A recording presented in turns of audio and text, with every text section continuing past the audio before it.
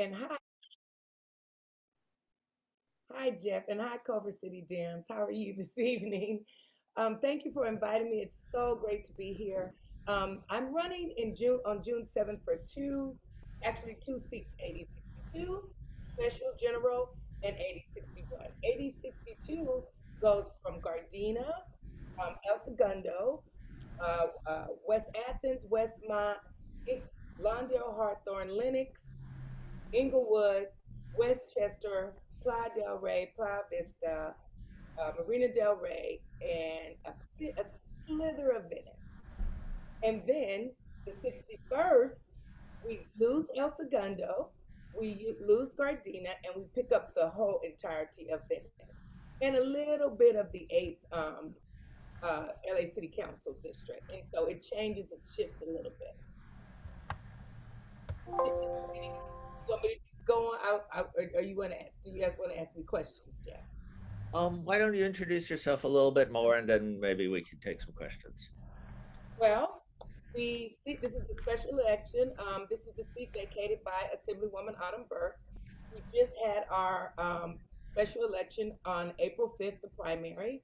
Um, I led in, it was four candidates, four Democrats. I led in the pack, I led the pack by um, 1,200 votes. Um, and so uh, a little bit about me, I come from uh, the county. I used to be, I started my career working for DPSS at 19. Um, there is when I first fell in love with being a union rep.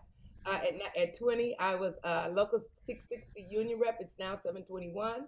I moved from there to LA County Office of Education, where I was an auditor. I, while I was at DPSS, I earned my accounting degree from junior college and then went on at Southwest College and went on at, to Cal State Dominguez to earn my um, accounting degree. Um, from there, I worked at Kaufman Legal Group as a treasurer. At the time, I was the treasurer for two people run, running for mayor, Kevin De, Kevin DeLeon and Congresswoman Karen Bass. And I would say that I'm not in, in that race because they're both my friends. And so from there, I moved on to, to work for Steve Bradford when he ran. He was the city councilman of Gardena. I ran his campaign office. We won. I went in as his district director, served his pretty much almost his full term. In his last year, Supervisor Yvonne Brathwaite Burke asked me to run her daughter Autumn Burke's campaign. I didn't know Autumn, but when Supervisor Burke asks you to do something, you do it. And so I did. And I uh, I ran Miss Burke's campaign. We won. I went on to be her chief of staff for several legislative cycles. Then I was tapped to uh, work for the California Democratic Party as their operations director. I was the first African American director at the party. From there, I decided to come back home to LA and I landed at LA Voice and LA Voice Action. LA Voice is a three seat organization. I'm the civic engagement director.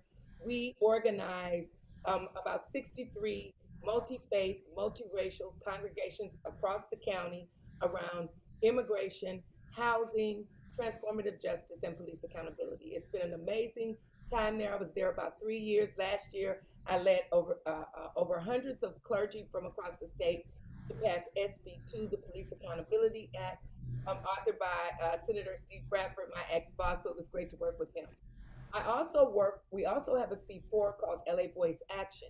In that capacity, I'm the deputy director. And in 2020, this is 2022. In 2020, I led uh, I led two independent expenditures for two of the most progressive uh, office holders in LA County, George Gascon and Holly Mitchell, and we won. I led a coalition of nonprofits to do that. So I decided to run for this seat because I have tons of legislative um, experience. I was the only candidate out of the pack that ran that actually went to Sacramento and, and had um, legislative experience. I also have the connection with the district. And by working at uh, LA Voice, I have connection with the community.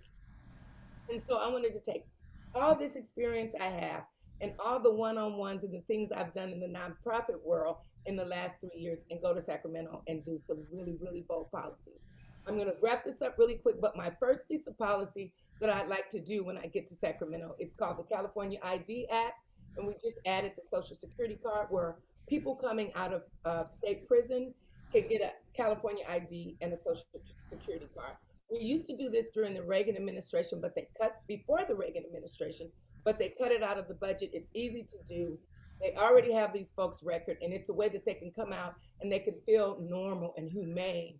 And if the police stop them, they won't get, you know, bothered. And they maybe they can go and get a job immediately or housing. It just makes it easier for their lives because we want people to come out. And all these folks want to do, I've been working with them in the last three years, is come out and live life just like you and I. And I think that um, in the transformative justice space, it would be a great idea. So I'll stop there. The campaign, well, I'll stop there. I have plenty more to say, but I'll stop there. Great, thanks. So if anyone would like to, to ask Tina anything, please re- raise your Zoom hand and, you know. Let me see. I can't see everybody.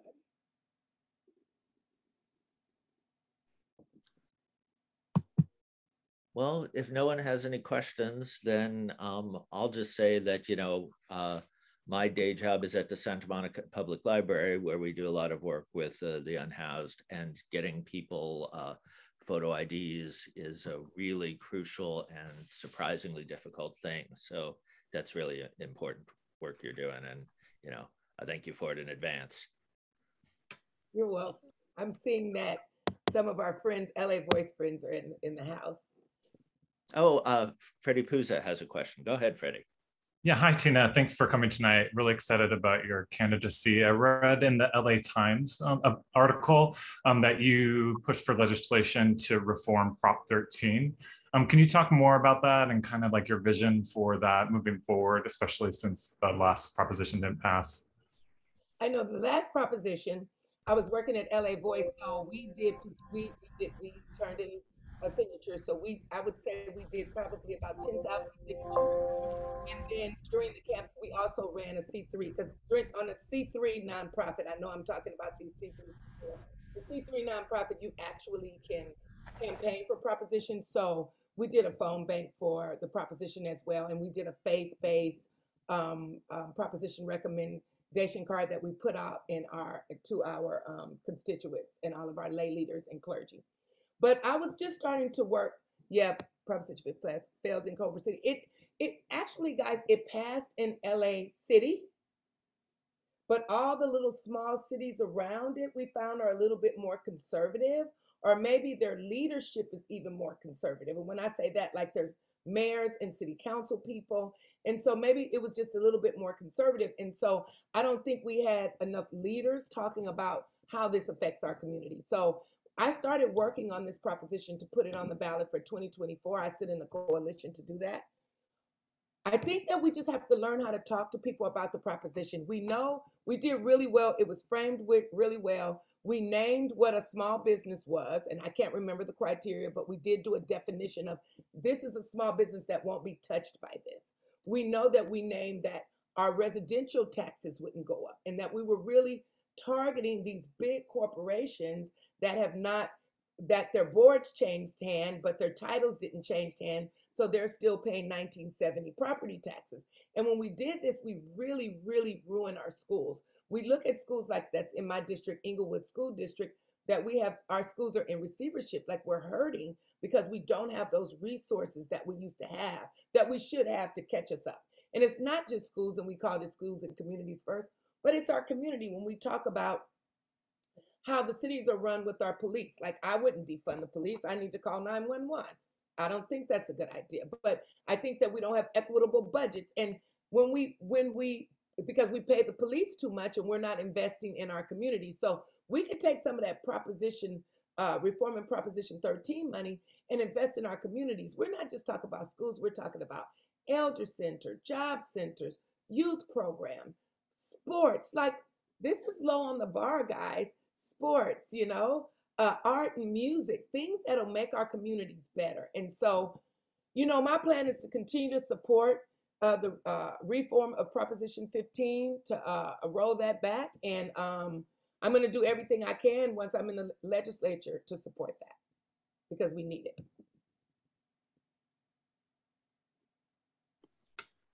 Great, thanks. Uh, uh, Kimberly Ferguson, go ahead. Hi, I'm very impressed with everything you had to say. I, I, I feel a little, I'm trying to put formulate my question, but it has to do with the idea you have for making sure that when prisoners are released and ready to be reformed into the community, um, isn't there some legislation that they're formulating now to also provide a better amount of funding for their first release so that they can find proper housing? And there's some other things that go with that too that would also go along with what you want to do. Is there some legislation already out about that or? You know what? I think so, but I would be, I have to be honest that I would be much more up on uh, legislation if I wasn't running for Office. I know, there's enough out there though. Yeah, be honest, but I think it's a great idea going with your driver's license idea. I think everything to make them feel more assimilated. Make them, give them human, you know, you want people, the thing I learned working for LA Voice, which I mean, I'm just so blessed to have worked there, is that we have to th- look at thing in a, things in a more holistic way, Yeah. right? We have to think every time we look at legislation, we got to we have to think about our neighbor. You know, I mean, I have a home. I'm happy. I, I have a pretty cool neighborhood. I live in Hawthorne. You know, I have a pretty nice. Mm, But we have to think about what's happening with our neighbor. We have to think about are we treating people like human beings? Are we treating them with humanity? I would have to say the driver's license thing just gives people a second chance to come out. And when they first get out, they don't have to worry about being harassed because they don't have a driver's license or ID. Mm, yeah. Get to the DMV. Have you been to the DMV lately? It's horrible. Oh, no, DMV, get their social security card. We just really have to legislate, and that's the lens that I'm going to be thinking about my neighbor, and is this a humane way for our community to grow together? sounds a great idea. Fantastic. Thank you, uh, Tina. Thank you, Kimberly and Freddie. Oh no, no, no! My fingernails are the color of of um of of le- um SEIU. Let me correct. No, I was just someone said something about my fingernails, and I wanted to say no, no, no. They're purple and gold for the union. Okay, go on. I'm sorry. well, I was just thanking everybody and moving on, I think. But great to meet you. Hope to see you again. Thank you guys so much. Thanks for having me. Look forward to talking to you guys soon.